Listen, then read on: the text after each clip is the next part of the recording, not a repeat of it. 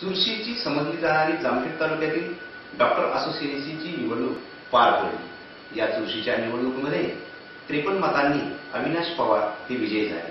आणि जामखेड तालुका डॉक्टर असोसिएशनचे अध्यक्ष म्हणून त्यांचा विविध क्षेत्रातून सरकार शुभेच्छांचा वर्षाव होत आहे. जामखेड तालुका डॉक्टर्स असोसिएशनच्या पार पडलेल्या अध्यक्षपदाच्या निवडणुकीत येथील डॉक्टर अविनाश पवार यांची निवड झाली.